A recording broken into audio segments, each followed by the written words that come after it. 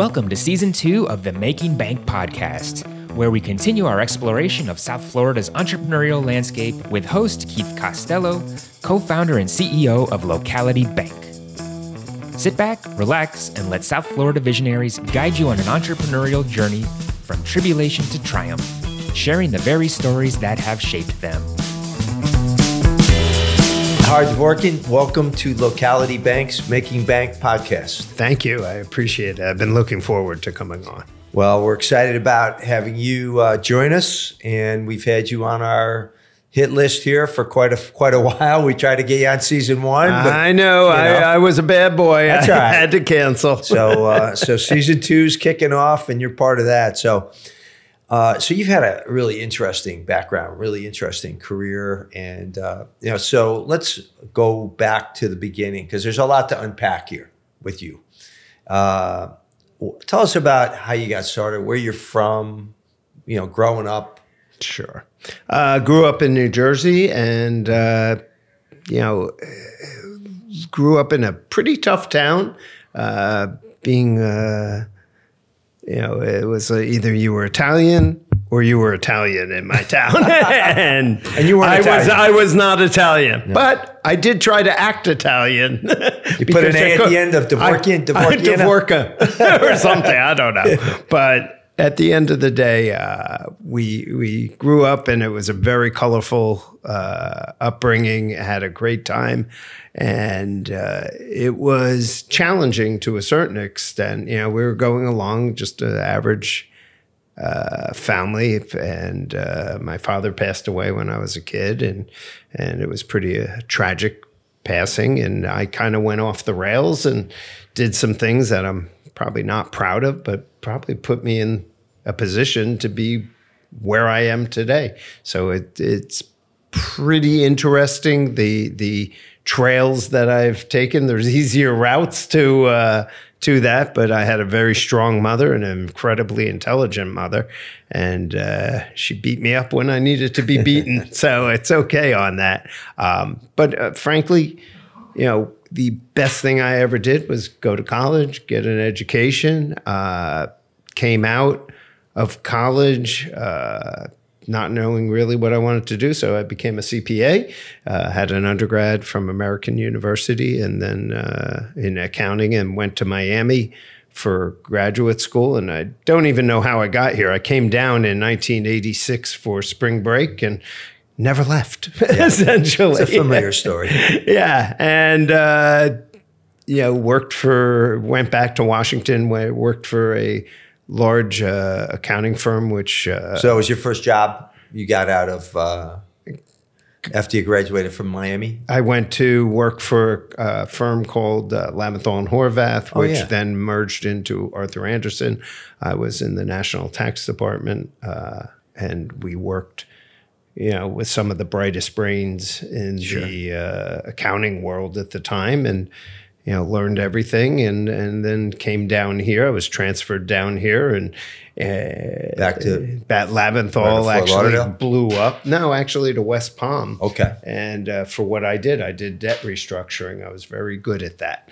Um, and Interesting. I turned around and uh, got there two weeks later. Uh, Laventhol and Horwath went out of business, declared bankruptcy. Andersen came in, Arthur Andersen, which was the premier accounting firm in the world at the time, and uh, fired everybody but myself and another guy. And I was like, wow, this is interesting. And welcome to Florida. And, uh, you know, I wasn't happy. So I was there a couple years and decided to start my own business. And like anything, I started at my kitchen table, uh, where every great businesses are grown. Um, you know, eh, but and I came up with an idea of helping people get out of debt. Uh, well, you were doing debt restructuring, but it was probably mostly for big corporate. But clients, I, right? it was very big for the during the RTC days, the resolution trust days. Right a lot of people signed a lot of loans and all these banks were going out of business and they wanted the federal government wanted their money back. And that was you know my job to try to limit the exposure of our clients. And that's what i did. And i was pretty good at it. Um, so I took those tools and applied them to everyday Americans. You know, I didn't touch a person with a net worth of under $10 million at that time. And back in in the late 1980s, $10 million was a lot of money. It's a lot of money now, but can you imagine 40 years ago or 30 years ago? Yeah. It was a significant amount of money. So you were just working, you were working with individuals, but only uh, wealthy individuals right. in the beginning. Exactly. Okay. And major real estate companies and, Okay. and things, but mostly doing uh, tax work, high end tax work. Uh, I remember uh, I was there, uh, I had a mentor, uh, the guy who hired me, and he was probably the number one uh, M&A guy in the country at the time, uh, Al Ellentuck. And all of a sudden, I'm there two months and I'm on the phone with Carl Icahn. And, and, and, and Carl has very colorful language from what I remember. And uh, we were discussing the T- his TWA Yeah. uh, leveraged buyout and trying to figure out the tax implications. He's still that. trying to figure some stuff out. Smart man, though. Yeah. Can't take that away from him. He's a rough, absolutely. tough guy. Yeah. But, uh, you know, it's funny uh, when you go back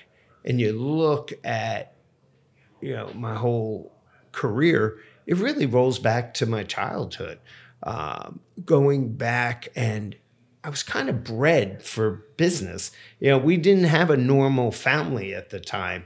We had a family when we talked, eh, when we, we had dinner every night at six o'clock. My dad would come in from his business and we wouldn't talk about sports. We wouldn't talk about, you know, what you did during the day. We would talk about business. And, you know, all of us are the same mentality. You know, my two sisters and I had the same mentality and we still to this day we think alike. And and you know, when we were very we were in it was always incentivized to be very entrepreneurial. Uh, my sister and i used to do stuff to raise money for charities. Um, you know when we were kids i mean i was probably eight years old. My first business and it was a real business uh, was when i was like 14 15 years old i was shoveling driveways for snow and i had accounts. And you know i had 10 guys working for me shoveling. We would out we'd be five in the morning till five at night. And then the next year i bought all used all the profits and i bought all this equipment. So all through high school i'd be making thousand bucks a snowstorm and it was great Yeah. and uh, That's one of the good things about living up north. no, that is that's probably the only thing.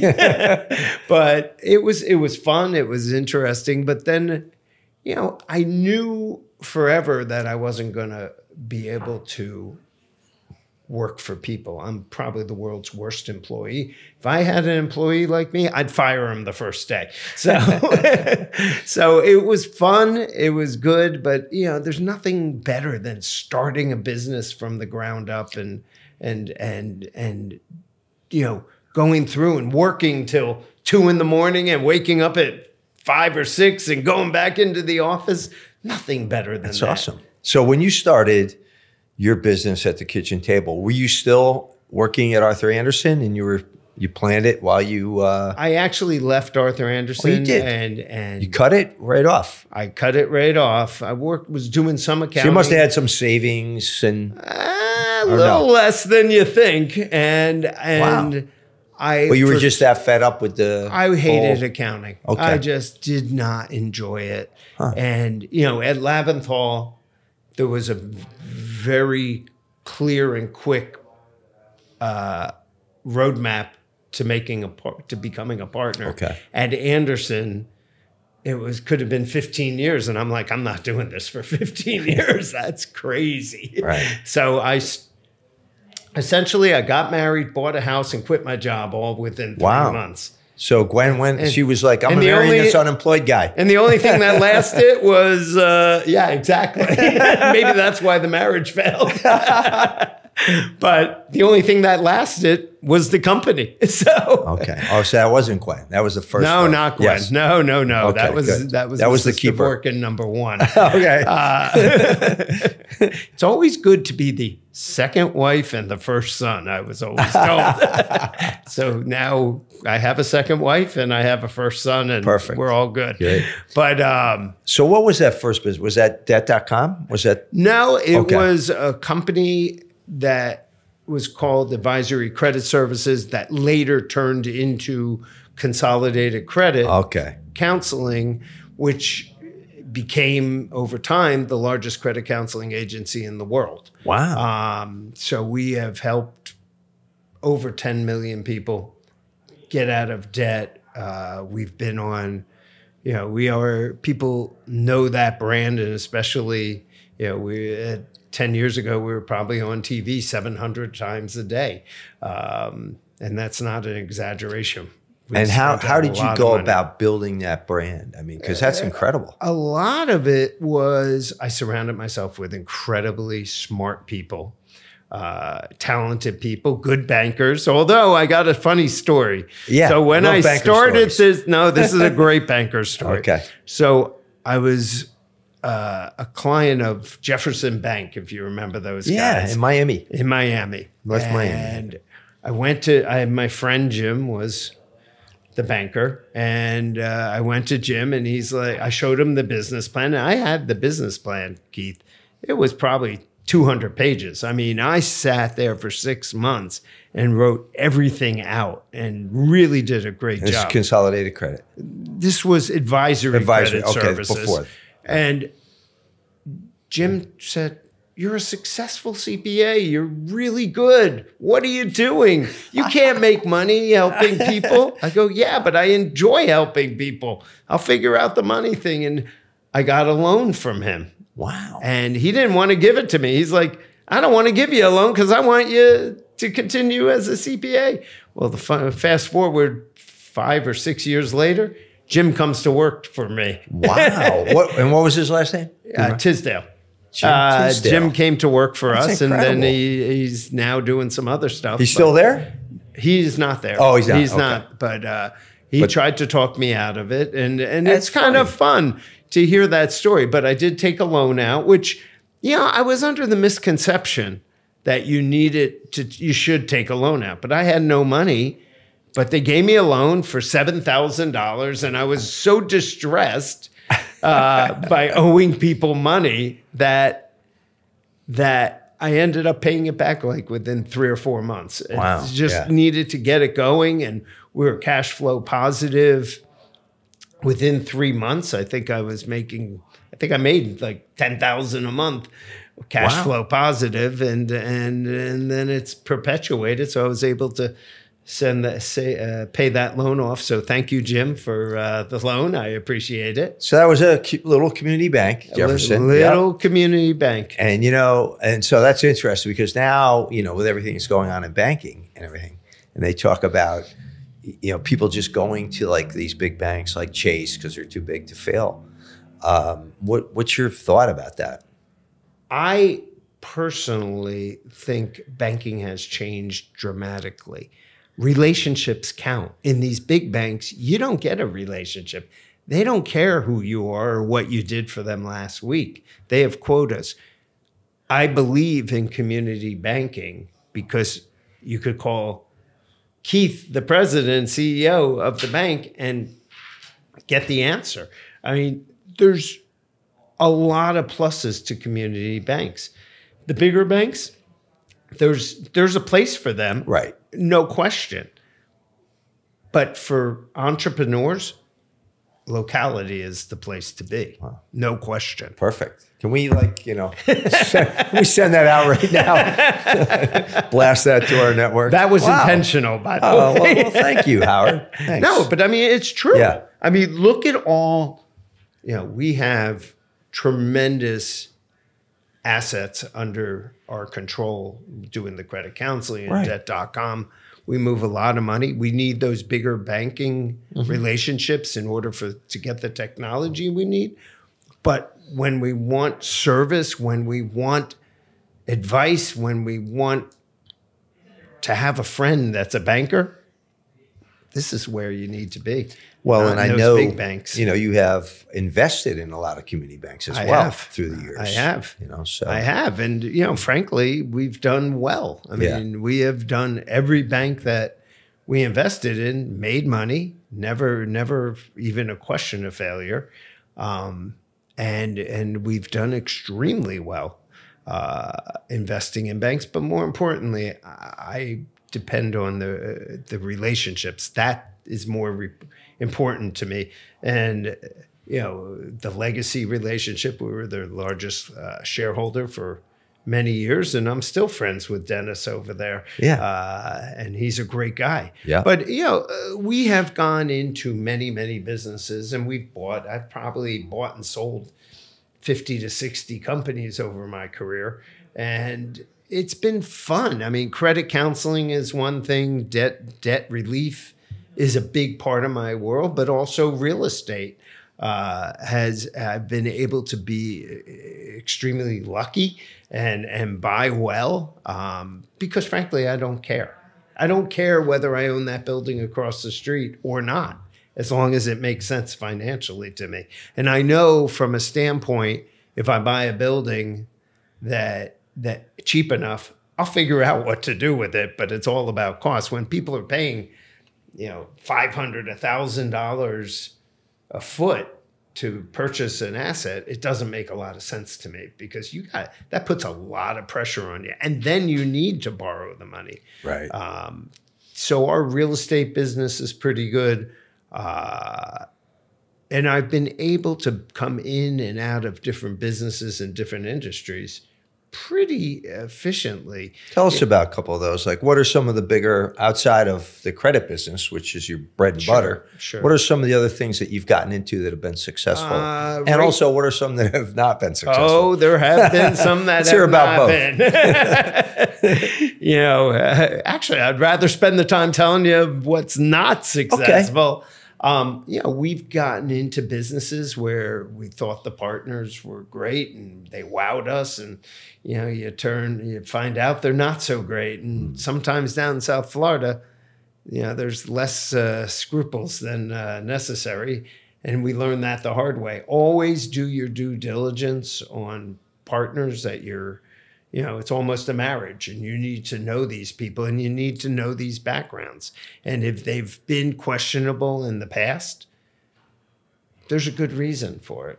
You know, typically, uh, leopards don't change their colors. Um, so be careful who you do business with. I think that's great advice. And as a banker who's, you know, I've been down here since 1985, right? So I have seen my share of that same element, uh, certainly here in South Florida. And I always tell people, because we have had a lot of people who've just moved here from other, you know, particularly New York, California. And I always say, when if they're customers of the bank, I said, if you're dealing with somebody, run them by me. Because if I don't know them and Howard doesn't know them and our network of people that we know doesn't know them, probably not a good person to venture Well, into a not deal with. knowing. It's now we got this thing called the internet, and and you can do some Well, you pretty good research on people. I mean, clearly a lot of people have moved here. You know, before people were moving here to start over or running away, and the bad guys tend to always go. They come to Florida, Yeah. they get kicked out of Florida, they go to Texas, they get kicked out of Texas, they go to California, and then they start all over again. So, you know, Florida is a place where sometimes people with questionable morals come, and you got to be careful. Um, we have been in mortgage companies before with people. Uh, it's crazy. You know, right before the Great Recession, which started in November of uh, 2007, Yeah, probably. I bought a I invested into a mortgage company in August of 2007. Probably not one of my better timing. Okay. Um, but we've bought a bunch of businesses over times. Um, you know, and and have sold a bunch of businesses. Uh, Gary Press and I have uh, sold a couple businesses and sold units. Uh, we had a benefits company and we sold that uh, for a tremendous amount of money. Um, I've been up in the Wellington area uh, over the last 15 years, part of the equestrian world. Um, so we sold the uh, equestrian the the equestrian center up there and the polo club through partners. My partner was the main main guy on there, and you know he's a very talented guy. Um, you know now we are actually uh, in the aeronautics business uh, where we're taking apart planes, refurbishing the parts, fixing the parts, and also fixing parts for. Uh, for airlines, and that company is ripe for a sale. Um, so there's a bunch of businesses that we've been in and out of. You know, I, I used to do acquisitions for in the credit counseling space, but there's nobody left to buy. I bought everybody. We probably bought 30 companies' wow. portfolios over the time over the course of time.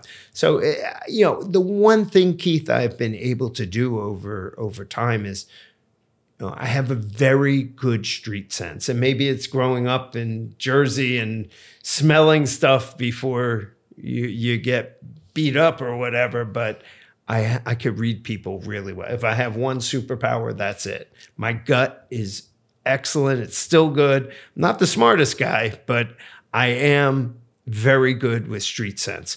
And I've been able to partner with unbelievable people. And I wouldn't be where I am today without uh, the friendship and and and honestly the the dedication of a lot of the people that have been with me for many many years. Uh, we all started as kids, and now we're still kids, but we're a little older now. Yeah. Um, and and now it's time to figure out uh, the next move. You know, where to try to get that next line of people to succeed us because I don't want to work till I'm 90 years old, although I think I probably will because I'm I get really bored really fast.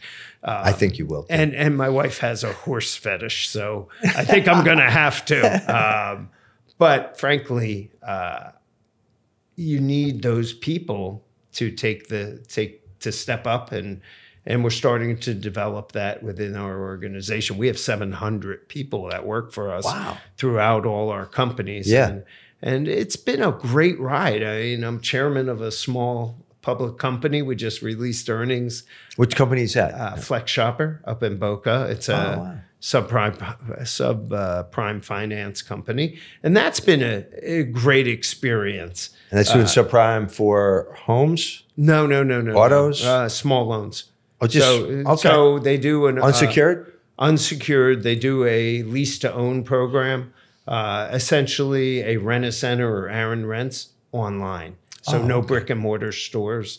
They just you a TV. You need a TV. They'll ship it right out to you. Okay. So kind of almost like buy now, buy now, pay buy, later. Type. Exactly. Okay. Exactly. Great company, great staff, but you know it's had its challenges. Yeah.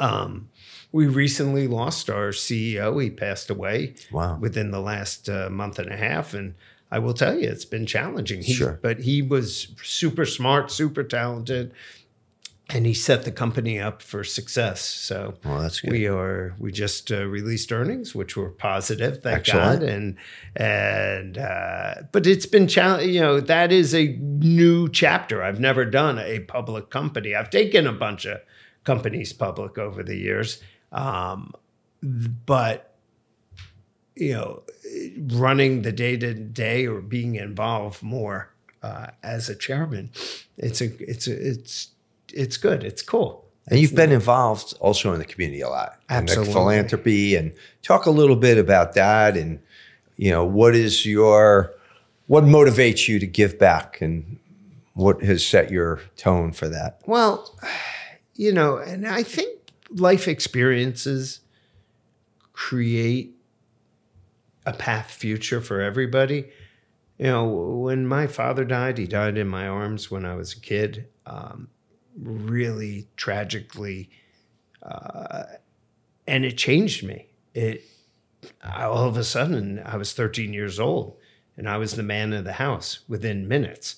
And I, it definitely, I saw the struggles. I saw the struggle that my mother went to. I remember the heat getting turned off in our house in New Jersey in February because mom didn't have the money to pay the heating bill. Yeah. I mean, that is challenging. Um, and it, and, and it changed me dramatically. And I know how people, because of the business I'm in, I know how people struggle. I Mm-hmm. hear it, I see it. And, you know, if I can help as many people as I can, that's great. Um, and that's, and, and I look forward to that. You know, it's our duty for those of us who have done well over the course of time to provide and help others and give guidance to others. I spend a tremendous amount of time giving advice, whether people want it or not is another question. But I do spend it to our youth. Um, you know, the biggest charitable push I've ever done was creating Parkland Cares. Uh, the night of the Stoneman Douglas massacre, and that's what it was, it was a massacre. Uh, I looked at my kids at the table and and and we were having uh, dinner and everybody was crying tears you know we had friends that were not seen from Right. and we turned around and i said we got to do something and i walked in uh, to uh, our community outreach person's office the next day i said guess what we're doing for the next few years and she goes what I go, we're going to start a charity. And so far, we've paid for thousands, tens of thousands of hours of, of mental health counseling through Parkland Cares. Wow. And it's a great organization. It's run by great people. Um, and, and frankly, it's, it's, that has been very meaningful. I've had uh, mental illness in my family. I've seen it firsthand, and and certainly these kids needed help, and they still need help. And there's a lot of people hurting in this in this world. Uh, Parkland Cares uh, has broadened its um, its reach not only to help the victims of the Parkland shooting, but in Broward County, throughout Broward County, and frankly throughout South Florida, we are supporting uh, mental health uh, organizations and, and and giving back to the community, doing that. Because there's I'm a I'm a big fan of the underdog, and nobody wants to talk about mental health. It's a dirty word. You know, nobody wants to talk about it. We know it's there. We know people are struggling, but we just don't want to talk about it in this in our society. So if I'm the one who's supporting mental health in this in there, great. Also, food. It appalls me that people are on Broward Boulevard standing around the corner to get a meal. It's appalling. While we're sending company or countries that hate our guts, we're sending billions of dollars out of this country when we can't feed our own. So feeding the poor, mental health are really, really my my goals, you know, to, from a charitable standpoint. But I've been on the United Way, Junior Achievement. We've given, you know, in totality. I mean, I don't know, probably. Let's just say we've given millions away over the course of the last 25 years. Wow. That's Um, great. Millions and millions to local charities and some out, out outside. Sure. Um, if you are successful, I think it's our duty to give back to the community. And we make it fun. You know, we do a lot of stuff throughout the companies, um, and we've quietly given away that much money. Um, and it's a pretty substantial amount, but we don't make it, but we make it fun within our organizations. You know, we'll have a bowl-a-thon, we'll, we'll, raise money around the offices and do weird stuff and you know it's just we try to make it fun while doing good Ah, that's great. and but certainly parkland cares has been one of those things that if if that is meaningful it's helping a lot of people there's no no thing bigger than i've ever done than help those folks. Oh, that's a great story. Thank you for for sharing that. What is uh, before we go to the lightning round, which is coming up next? Oh, oh, I'm, I've been warned about your lightning round. Before that, though, what's what's one piece of it? You've shared a lot of different advice, but if you had one piece of advice for entrepreneurs who are listening to this podcast, what would be your your main piece of advice to them? Don't be afraid to fail. And if you fail, you get back up and you keep swinging. And if you get knocked down, you keep getting up. Surround yourself with really smart people, whoever they are. Just surround yourself with the best and the brightest. And make sure when you hire somebody, everybody that works for you has to be smarter than you. no, seriously, you got to hire smarter people. You don't know everything. Yeah. I'm not the smartest guy. I have good street sense and I have the ability to push forward. I don't give up. But the fact when you're starting a business from the ground up or even you're halfway through your career, just keep, not everything's going to work out and you're going to fall down, but you got to get back up no matter what. And you have to keep pushing and pushing. Life isn't easy sometimes. And, and if you, if you allow yourself to be defeated, then shame on you. So that's great advice. And and you know, so your favorite song by Springsteen? Oh, it's got to be No Retreat, No Surrender. Actually, it's called No Surrender. Right. And, and because I am a Jersey Shore boy, Oh, of course. uh, you know, I've been friends with the band and uh, the Stone years. Pony and, and all that. Stone Pony, the whole bit. I just got done with four concerts. Wow. Uh, and a couple months ago, when he came to Florida, I went to to uh, Tampa for opening night, Orlando, South uh, Hard Rock down here, and then wifey went it said we gotta go, and we went to Greensboro and saw an unbelievable show. You know, the awesome. guy, seventy three years old, and and. I was tired going to all these concerts. This guy's singing his brains out for three hours straight. God bless the man. Now That's that's, energy. yeah, that's incredible. All right, so now we're going to go to the lightning round. So these are just quick answers. Okay. Um, favorite book? Favorite book is Think and Grow Rich by Napoleon Hill. Great Has one. nothing to do with with uh, with with with making money, but it has everything to do with life. Wow, great one.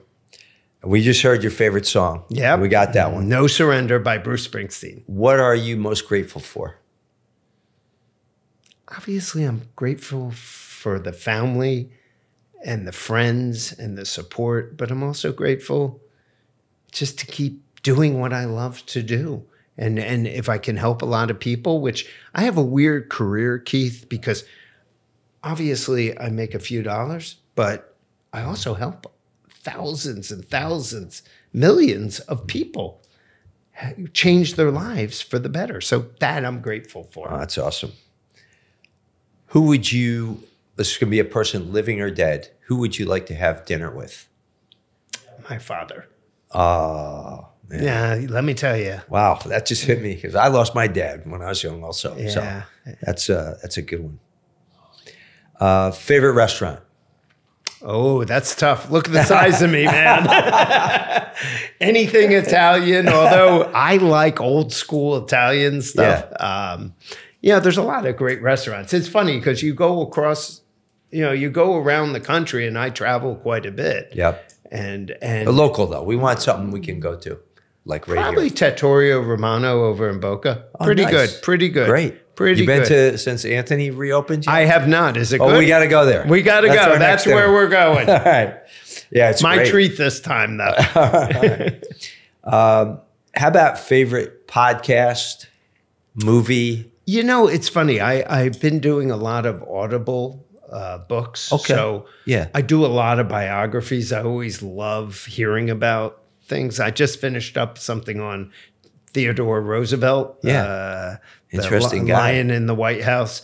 Um, very interesting guy, but any biography I love. Um, I do watch some of the podcasts out there. Uh, I love watching you, frankly. I you do. go. I'm Thank you. inspired by what you say. Well, thank you.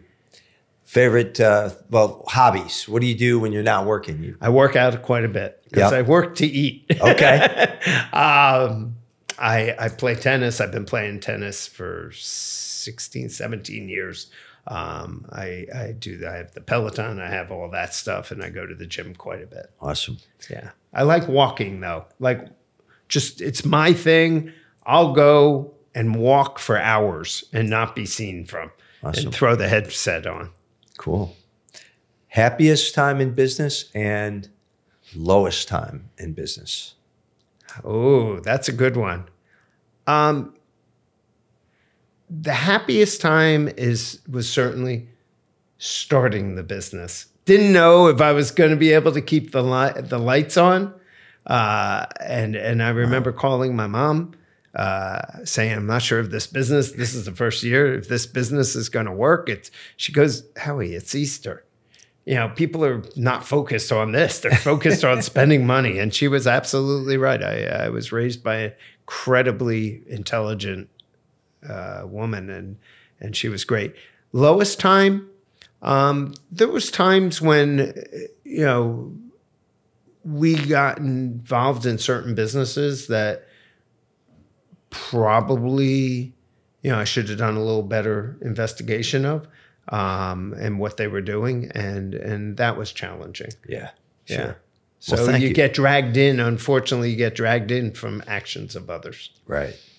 So great, great job today. Thank, Thank you, you. for sharing all that information. How can people get in touch with you? Well, certainly, listen, my email address is howarddvorkin at howarddvorkin.com. Pretty easy because we have so many companies. Right. I couldn't remember them all. Um, and, and frankly, if they want to call me or email me, I'm happy to help them. I'm happy to talk to them. If they have ideas, I'm happy to listen. You're on LinkedIn? I'm on yeah? LinkedIn and and you know, and I gotta say, you I want to interview you. That's what I want to do because you're really good and you're interesting. Your story is terrific. And and frankly, if this uh, banking thing doesn't work out for you, maybe you should think about doing this full time. No, Well, you know, looking at Joe Rogan, you know, I mean. all right. Well, we'll uh, thank you, Howard. It's great. it. Great Thank seeing you. Thank you so much. Absolutely. Thanks for your time. Great. Thanks for tuning in to Locality's Making Bank podcast. Be sure to subscribe on your favorite podcast platform to catch the latest episodes and visit localitybank.com today to learn more about all the benefits of banking local.